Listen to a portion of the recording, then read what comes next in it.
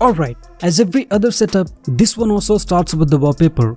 So get it from the description along with all the other required files and set it up on the screen like this with the Niagara launcher being set as the default launcher. This is how your screen looks on the first use of the launcher.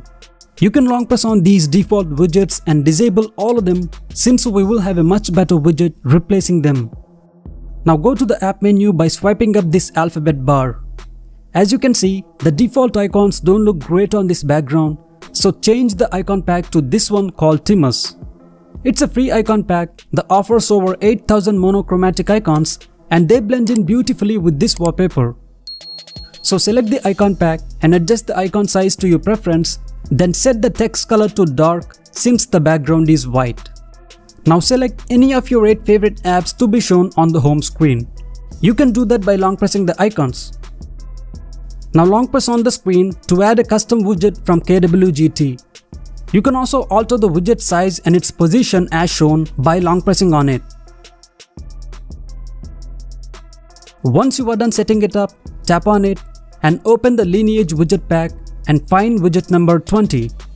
It's a free widget pack by the way. The widget used for this setup is a simple one that tells us the time, date, weather and the remaining charge. I had to alter the widget size and change the colors of the elements to blend it in with the background. So set the scale of the widget to 65 by going into the layer tab, then change the colors of the elements to match it with the background. You can do that by simply selecting each element individually and going into the paint tab. By the way, these are the color codes used for the widget.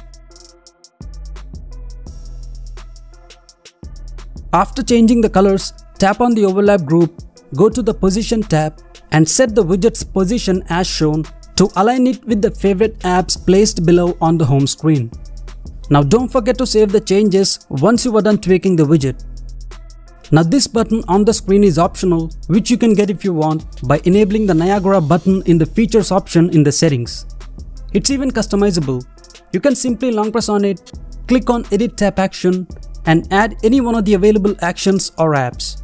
I wanted it to be my agenda so whenever I tap on this button, it takes me to the calendar and shows up my agenda. So that's how you can recreate this best minimal Android home screen setup. I hope you liked it, like the video if you did and let me know what you think about the setup in the comments and subscribe to the channel for more Android customization videos. Thanks for watching.